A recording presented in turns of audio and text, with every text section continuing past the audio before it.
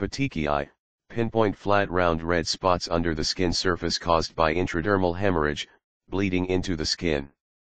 Petechiae are red because they contain red blood that has leaked from the capillaries into the skin. Petechiae are quite tiny, less than 3 mm in diameter, and do not blanch when pressed upon. There are many conditions in which petechiae may be seen.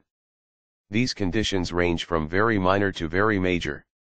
The common causes of petechiae include local injury and trauma, allergic reactions, autoimmune diseases, viral infections that impair blood coagulation, clotting, thrombocythemia, an abnormally low platelet level, certain medical treatments such as radiation and chemotherapy, idiopathic thrombocytopenic purpura, ITP, leukemia and other bone marrow malignancies that may lower the number of platelets, and sepsis, bloodstream infection.